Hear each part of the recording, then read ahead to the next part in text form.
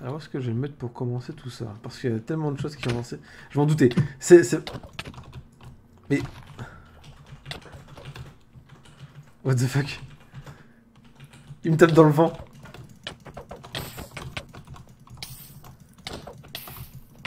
Mais... Mais... mais...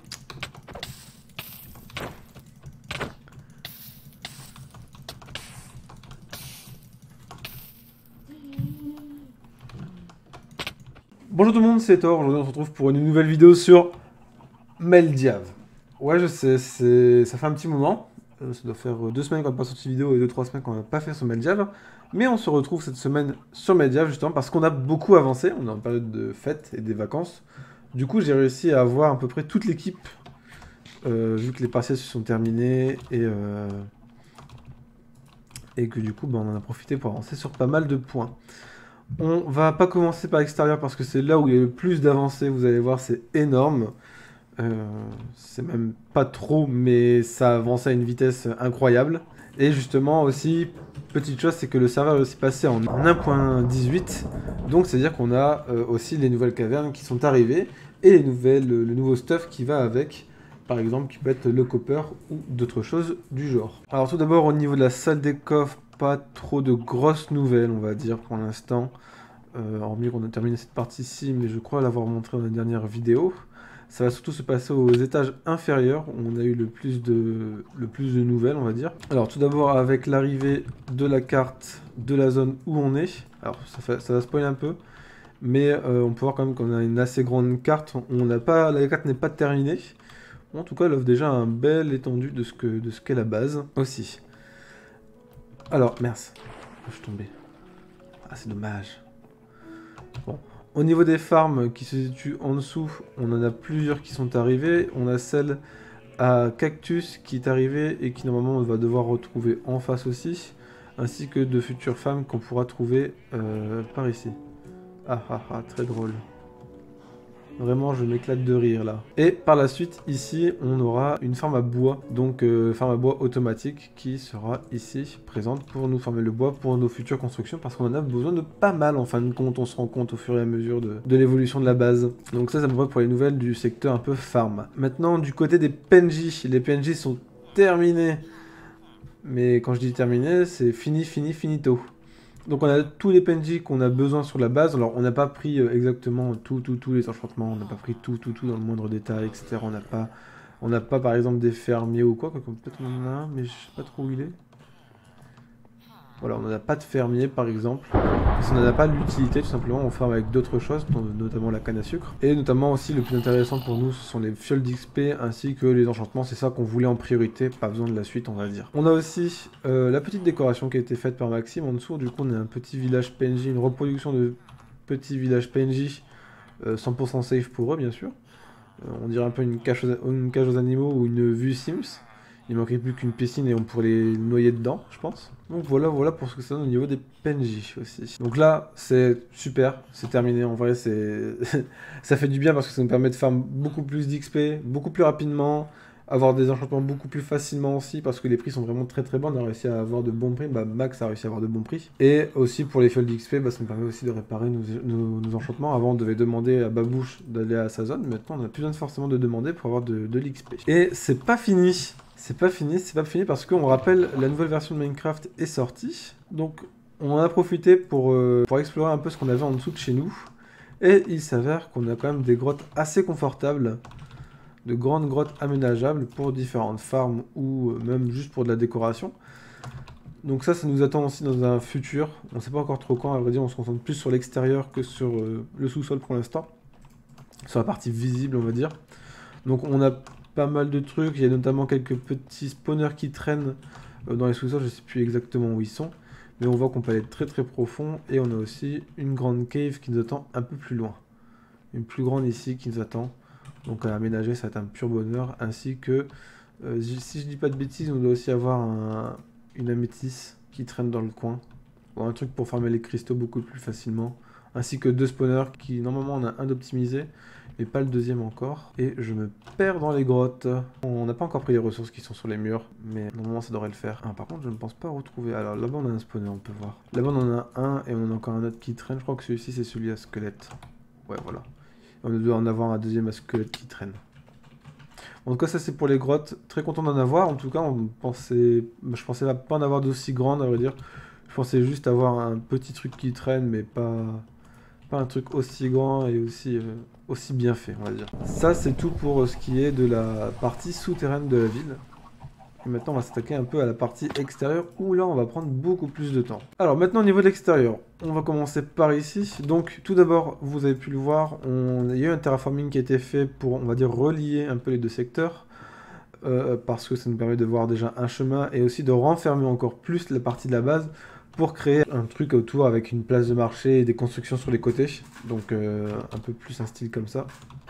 C'est à peu près ce que je voulais faire et Fripp a réussi à concrétiser ça avec le terraforming qui est là. Du coup, on va commencer par l'arrière de l'arrière de la ville, donc ce qui est un peu à l'arrière de la base, qui est un peu à l'extérieur, euh, ce qui est un peu extramuros. On a une ferme à faire qui est ici qui produit mais du feu de dieu. On a déjà quand même pas mal de stacks de fer et quelques quelques volumes. Euh, et euh, c'est tout. Donc euh, très productif. Je crois qu'on doit être à, peu près à un stack de blocs par heure, voire même plus. Je sais plus exactement. Flip m'avait donné les stats. C'est lui qui l'a fait. Vraiment très très joli. Il faudra juste, je pense, l'habiller par la suite pour avoir quelque chose de, on va dire, qui passe partout dans le paysage. Alors ici, du côté de chez Lana, on a la farm à abeilles que vous avez pu voir justement un short sur ma chaîne qui est sorti à ce sujet-là, Canopy Bee justement, c'était un peu le thème. Donc d'un côté, on produit des fioles de miel pour notamment ce qui peut être des blocs.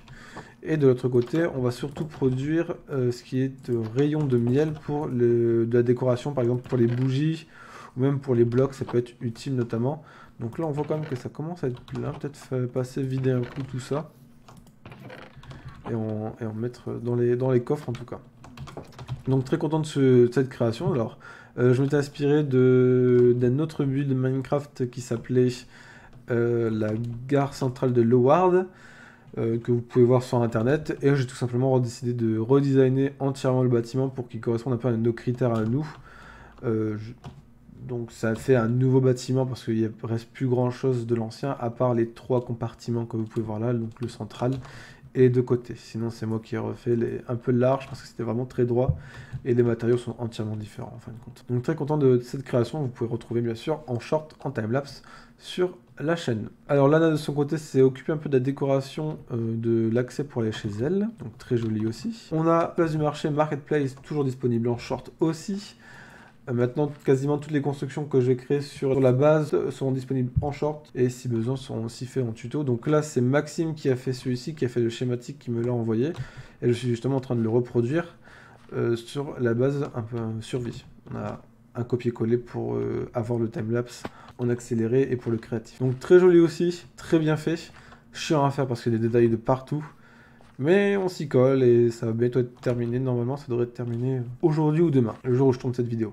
Donc ça veut dire le 30, euh, le 32. Donc Free de son côté est repassé un petit moment sur le serveur et a fait tout simplement cette petite euh, sortie de la base avec une petite muraille qui va sur le côté. Donc pour avoir toujours cet aspect un peu extramuros, intramuros.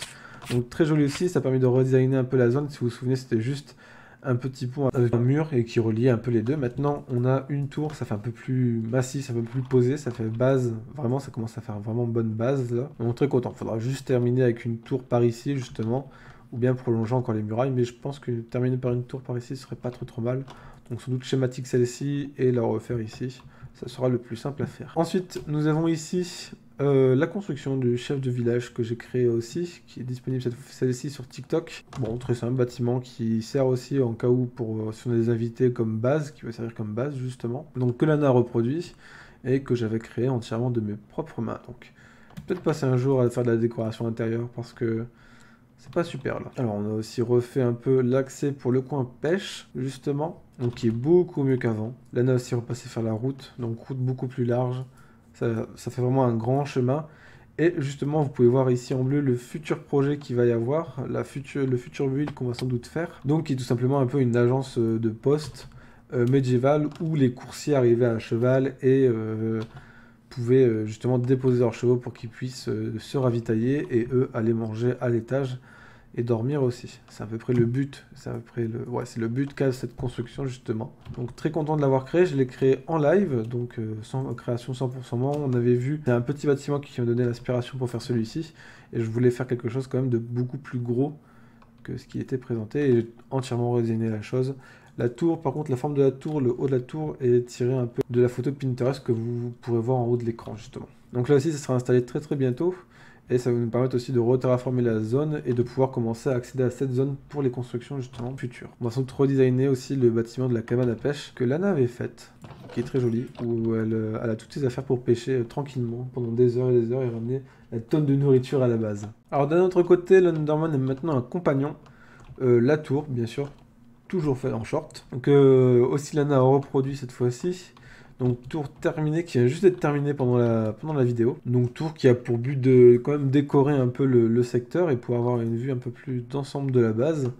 Donc on peut monter dedans, je pense. Donc avec tous les étages, il faudra juste vraiment passer un jour, faire de la décoration un peu partout pour pouvoir meubler l'ensemble. Donc là on peut, voir, on peut voir une autre vue de la base.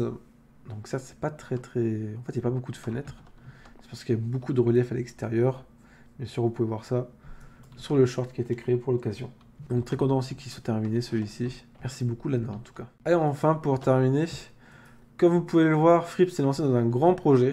Sur, sur chaque, chaque chose qu'on fait, il y a un grand projet qui est lancé. Donc il a tout simplement décidé de se lancer dans son royaume. Euh, pour la faire court, hein, bien sûr. Design des tours entièrement faites par lui. Euh, murailles qui va s'étendre jusqu'à Perpète, qui vont quasiment arriver jusqu'à la petite maison du chef de village c'est son, nom. Hop là, qui a quasiment arrivé par ici. Donc vous pouvez voir que la zone est quand même bien, bien, bien étendue. Il va garder du relief. Tout sera fait avec du copper en termes de toiture quasiment. Donc c'est pour ça qu'actuellement je farme beaucoup, beaucoup, beaucoup de copper, le maximum que je, je peux. Et il nous faut aussi beaucoup de fer euh, pour les enclumes qu'il peut y avoir à droite à gauche. C'est pour ça aussi qu'on a décidé de faire, qu'il a décidé de faire la farm à fer et aussi la farm à bois pour l'avenir parce que vous pouvez voir que ça consomme aussi pas mal. Même nous, pour les constructions à côté, on en a besoin d'énormément. On commence à être à court, je pense. Donc voilà, ce projet pour l'instant, on n'en sait pas plus. il avance d'abord sur les murailles et une fois que les murailles seront faites, je pense qu'on va commencer à voir les constructions un peu plus dans le détail. Et là, vraiment, ça annonce vraiment du lourd parce que ce sera sans doute un des plus gros châteaux parce que je sais qu'un autre joueur fait un château sur le serveur. Ça sera sans doute un des plus gros châteaux qu'il y aura sur le serveur. Vraiment gros, gros, gros projet et que j'attends avec impatience la suite. Certaines des tours pourront être sans doute faites en short, donc retrouver un peu un time-lapse pour que vous voyez à peu près comment elles sont faites ou juste pour l'aspect esthétique que, peut procurer un timelapse. Donc ça c'est à l'avenir, il faudra d'abord retravailler un peu sans doute certains builds pour avoir seulement des morceaux et non pas avoir le, truc en entier, sinon ça me prendrait quand même pas mal de temps je pense. Pour l'avenir un peu de, la base, de l'aventure, bah, vous voyez qu'on a un futur projet en schématique qui est prêt. Il faut terminer encore un peu le marché et il y a le projet que Free lui fait de son côté. Donc on aura encore beaucoup de contenu à vous montrer dans les prochaines semaines ou les prochains mois à suivre. Donc ne vous inquiétez pas, ça ne fait que commencer et ça ira vraiment crescendo, je pense, euh, sur cette aventure. Surtout qu'on a repris l'aspect créatif de quasiment l'entièreté des bâtiments. Donc ça fait qu'on prend beaucoup plus de plaisir à, les faire, à les reproduire par la suite. Donc ça on est très très content aussi. Et aussi la point de vue nous motive à mort parce qu'elle nous permet d'avoir vraiment les nouveaux, les nouveaux blocs, les nouvelles caves. Donc ça vraiment c'est vraiment un boost à tout ça c'est un supplément et je pense vraiment qu'on vit dans les meilleures versions de Minecraft actuellement euh, qu'il y ait jamais eu depuis très très longtemps. En tout cas, c'est tout pour cette vidéo. Merci beaucoup de l'avoir regardé. On est aussi à 601 abonnés ou 600 abonnés. Merci beaucoup pour les 600 abonnés. Je vois que les shorts plaisent énormément. On va continuer aussi à en faire. Je ne sais pas si avec la rentrée on arrivera à être aussi régulier. En tout cas, merci beaucoup pour les retours qu'on a. Ça motive énormément. Du coup, n'hésitez pas à toujours liker, commenter, vous abonner. Maintenant, le prochain objectif, ce sera les 700. J'espère y arriver très très vite. D'ici là, on se retrouve pour une prochaine vidéo. Portez-vous bien. N'hésitez pas à liker, commenter, vous abonner. C'était Thor. Ciao tout le monde.